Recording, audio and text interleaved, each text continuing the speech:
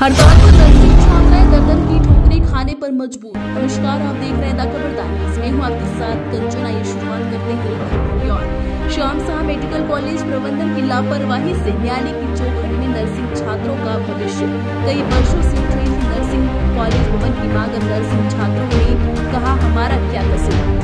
Shyam Shah medical college में बीते कई दशकों से नर्सिंग कॉलेज बिल्डिंग की मांग, अब सैकड़ों छात्रों के भविष्य पर असर डाल। रही है आदेश के बाद कॉलेज की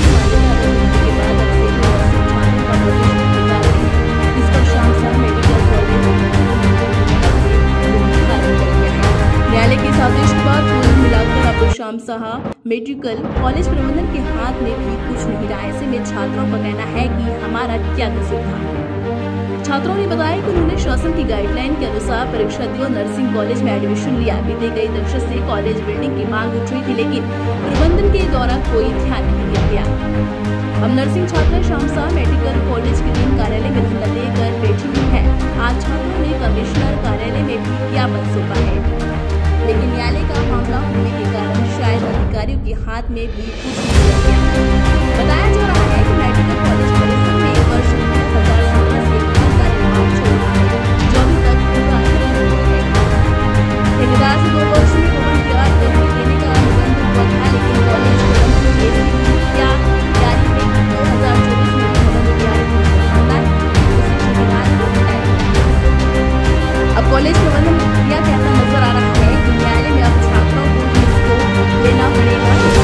ये आज आप लोग के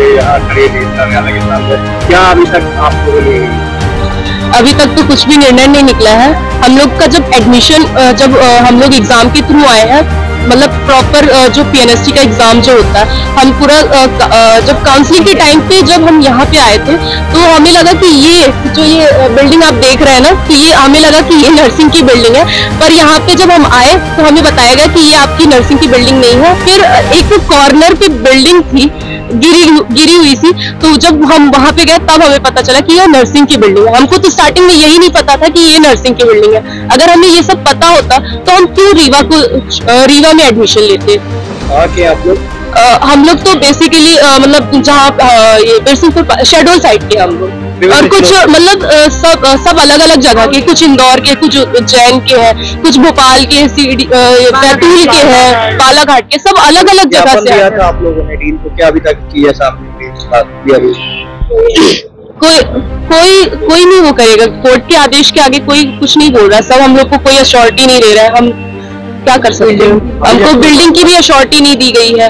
अभी जब ये मामला पहुँच चुका है तो क्या स्टेप होगा? आप लोगों का आगे कुछ बता रहा है आपको क्या फ्यूचर हमारा लटका हुआ है कोई अश्योरेंस नहीं दे रहा तो हम क्या कर सकते हैं? हम तो अपनी डिमांड के लिए तो खड़े हैं यहाँ पे और कमिश्नर ऑफ़िस भी जाएँगे हम। अभी क्या हड़ताल पे है कि नहीं? है अभी तो स्ट्राइक पे है हम ड्यूटी नहीं जा रहे क्लिनिकल नहीं जा रहे क्यों क्योंकि हम क्यों जाए भाई हमारा जब ऑलरेडी अनसुटेबल आ गया तो हम क्लिनिकल ड्यूटी करके क्या कर लेंगे? हड़ताल कब तक जारी रहेगी?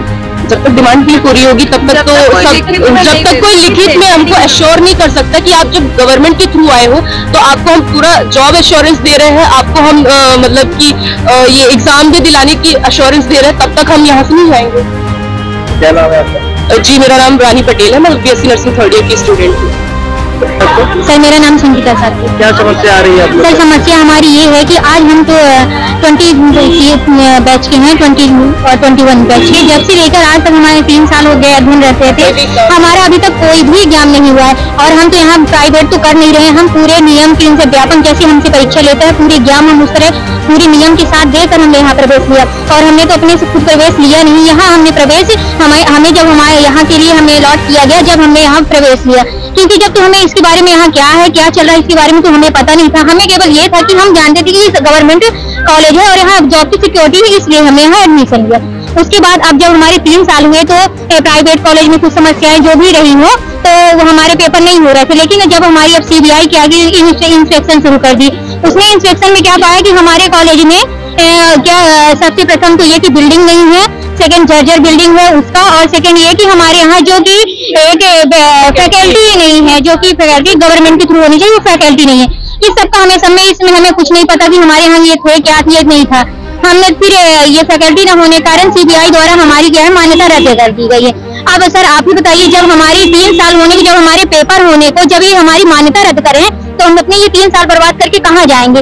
इसके लिए हमारी यही रिक्वेस्ट है कि हमें हमारे कसम डीन सर या हमारे कमिश्नर सर के द्वारा हमें जल्द से जल्द बिल्डिंग प्रोवाइड किया कराई जाए जिसके द्वारा हमें स्टेबल हो सके और हमें एग्ज़ाम के लिए पूरी तरह से मान्य मान्य श्रेणी में आ सके जिससे हम अपने पेपर रेगुलर दे सकें।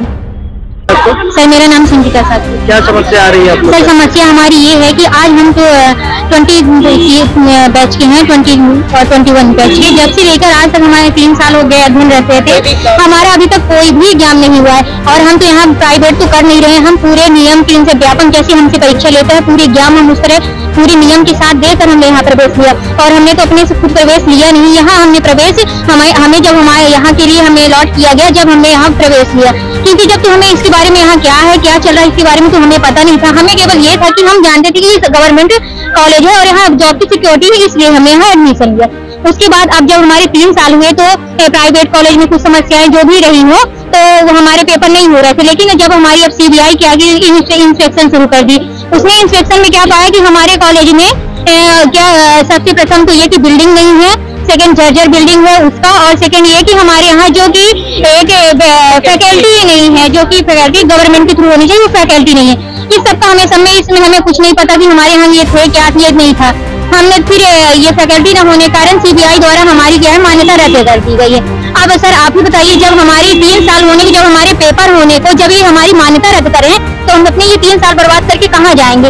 इसके लिए हमारी यही रिक्वेस्ट है कि हमें हमारे डीन सर या हमारे कमिश्नर सर के द्वारा हमें जल्द से जल्द बिल्डिंग प्रोवाइड किया कराई जाए जिसके द्वारा हमें स्टेबल हो सके और हमें एग्ज़ाम के लिए पूरी तरह से मान्य मान्य श्रेणी में आ सके जिससे हम अपने पेपर रेगुलर दे सकें।